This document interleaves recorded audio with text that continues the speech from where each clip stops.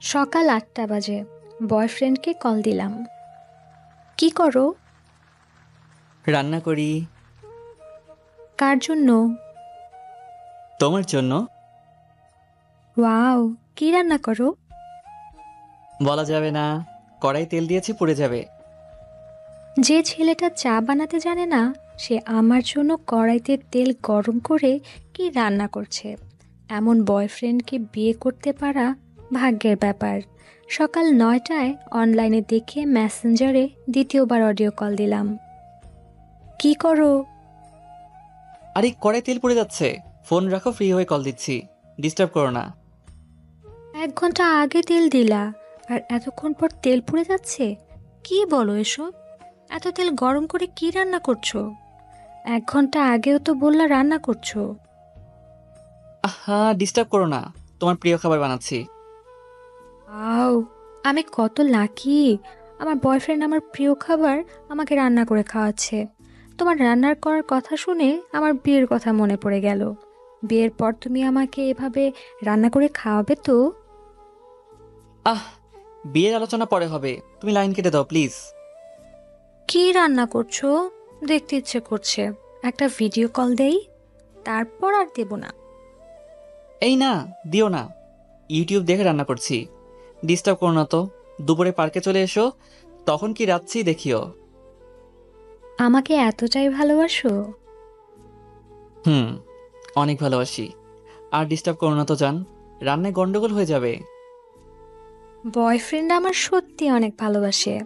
কয়েকদিন ধরে বলে আসতেছে আমার জন্মদিনে সে নিজের হাতে রান্না করে আমাকে খাওয়াবে। দুপুর বারোটা বাজে। দুজন পার্কের বেঞ্চে বসে আছি। আমার বয়ফ্রেন্ড শুভ আমার জন্য বিরিয়ানি রান্না করে আনছে। চারপাশে বিরিয়ানির গন্ধ ভু ভু করতেছে। কয়েকটি কাক গাছে বসে আমাদের দিকে লোভনীয় দৃষ্টিতে তাকিয়ে আছে। হটপট খুলতে নাকে অদ্ভুত এক গন্ধ এলো। কাকগুলো কা কা করে উড়ে আবার একই ডালে বসল। শুভ এগুলো বিরিয়ানি রান্না করছে নাকি কেকা আপা টাইপের রান্না করছে বুঝতে পারছি না। বিরিয়ানি থেকে দুধ মিশ্রিত মাংসের গন্ধ বেরোচ্ছে খাওয়ার উপযোগী কিনা, তাই ভাবছি। গন্ধ খারাপ আসছে বললে আবার অভিমান করে চলে যাবে। শুভ আমাকে খাইয়ে দিবে।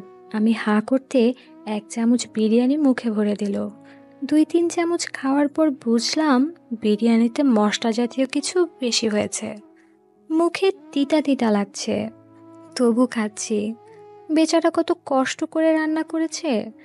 চতুর্থ চামচ মুখে দিল, এমন সময় হেঁচকে উঠে গেল।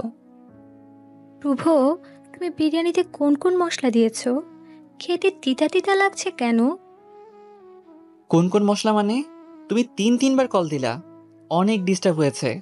অনেকগুলো বিরিয়ানি রান্নার ভিডিওতে ক্লিক করছে ভিডিও দেখে বিরিয়ানি রেঁধেছি। তাই হয়তো একটু গন্ডগোল হয়েছে। অনেকগুলো ভিডিও দেখে রেঁধেছো? হুম তুমি প্রথম যখন কল দিলা তখন তেল আর মাংস দিয়েছি। কল কেটে দেখি আরেক মহিলা আসছে। উনি দুধ দিতে বলল আমি ঢেলে দিলাম। কম কষ্ট হয়নি বলো।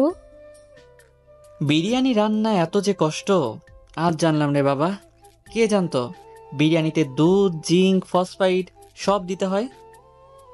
কষ্ট তো অনেক করেছ। তোমার কষ্ট এখন আমার কলিজা ছিঁড়ে খাচ্ছে। তুমি খাবারে জিঙ্ক ফসফাইড কেন দিয়েছ? তৃতীয়বার যখন কল দিলা কথা বলা শেষে দেখি মহিলাটা বিরিয়ানিতে জিঙ্ক ফসফাইড মিশাচ্ছে।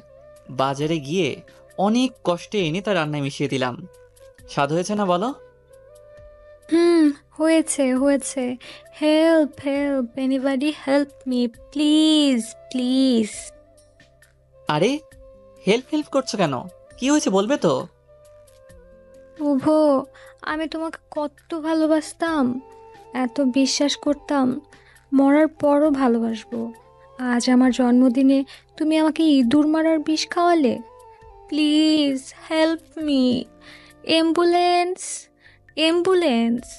তুমি আমাকে ইঁদুর মারার বিষ খাইয়েছো। আমি আমার সামনে বাবা, মা আত্মীয় স্বজন সবার হাস্য উজ্জ্বল চেহারা দেখতেছি। আমি মারা যাচ্ছি। তাড়াতাড়ি হাসপাতালে নিয়ে চলো। বোকামে কিছুই করতে হবে না। তুমি ঠিকই দেখেছ। আম্মু আব্বুদের সবাইকে আমি এখানে ডেকেছি। ওনারা তোমাদের বাড়িতে গিয়েছিল।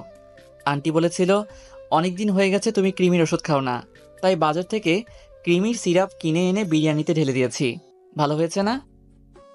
আমি ভ্যাবাচাপা খেয়ে দাঁড়িয়ে আছি। সবাই হাসছে। আমি তো কৃমিকে ভয় পাই। তবে বিষ তো আর খাওয়ায়নি, শুধু একটা কৃমির সিরাপ মিশিয়ে খাইয়েছে। এই যে শুনেন শুনেন, কোথায় যাচ্ছেন আপনারা? হ্যাঁ হ্যাঁ আপনাদের বলছি। তো এখন কষ্ট করে সাবস্ক্রাইব করে যান আমাদের চ্যানেলটি, তাহলে আমাদের নতুন নতুন, মজাদার গল্পগুলো আর স্যাড স্যাড স্টোরিও শুনতে পাবেন। ওকে, ভালো থাকুন।